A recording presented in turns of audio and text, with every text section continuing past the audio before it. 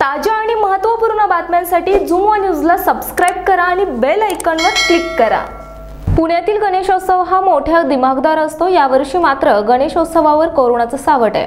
अशा परिस्थितीत हा गणेशोत्सव साधेपणाने साजरा करण्याचा निर्णय पुण्यातील मंडळांनी घेतला आहे विशेष म्हणजे पुण्यातील मानाच्या गणपतींसह श्रीमंत दगडूशेठ हलवाई गणपती मंडई गणपती तसेच भाऊ रंगारी गणपती.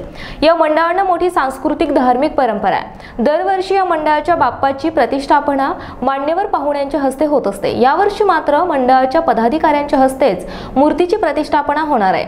विशेष म्हणजे एकमेकांचे पदाधिकारी या मंडळाच्या गणपती बाप्पाची प्रतिष्ठापना करणार आहेत. श्रीमंत दगडूशेठ हलवाई गणपतीची प्रतिष्ठापना मानाचा पहिला कसबा गणपती मंडळाच्या अध्यक्ष श्रीकांत शेटे यांच्या हस्ते होणार आहे. यावर्षी दगडूशेठ हलवाई गणपतीची प्रतिष्ठापना मंदिरातच होणार आहे. कोरोनाच्या पार्श्वभूमीवर गणेश स्थापनेचा सगळा सोहळा ऑनलाईनही होणार आहे. अशी माहिती श्रीमंत दगडूशेठ गणपती हलवाई ट्रस्ट गणेश चतुर्थी या सर्व गणेश भक्तांना हार्दिक शुभेच्छा.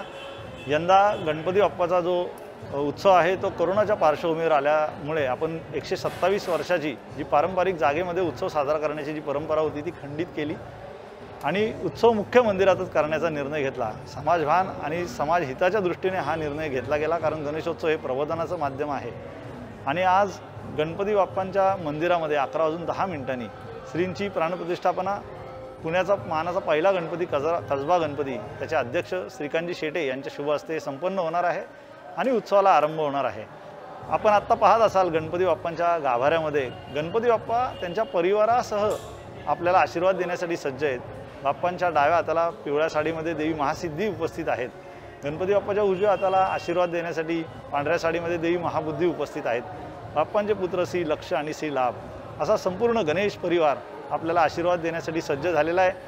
आम्ही स्वतः विश्वस्त मंडळाने आणि सर्व गणेश मंडळांच्या आमच्या दगडूशेठच्या कार्यकर्त्यांनी असा निर्णय घेतला आहे की आपण प्रतिष्ठापनेनंतर कुणीही दहा दिवस मंदिरामध्ये प्रत्यक्ष दर्शनासाठी बाप्पांच्या येणार नाही आहे आपण बाहेरूनच लांबून मुखदर्शन घ्यायचं आहे आपल्या माध्यमातून भाविकांनाही आम्ही अशी विनंती करतो की त्यांनी देखील गणपती बाप्पाचं प्रत्यक्ष दर्शन न घेता आपण ऑनलाईन दर्शन घ्यावं. प्रतिवर्षी आपण बाप्पांच्या महादर्शनाकरता येत असता परंतु ह्या वर्षी बाप्पाच आपल्याला दर्शन देण्याकरता ऑनलाईन स्वरूपात आपल्या घरी येतो आहे आपण त्याचा लाभ घ्यावा. कृपया गर्दी करू नये. गणपती बाप्पा मोरया आणि करोनाला आपण हरवूया. हा संकल्प आपण या गणेशोत्सवाच्या निमित्ताने करूयात. आणि हे कोषाध्यक्ष महेश सूर्यवंशी यांनी दिली आहे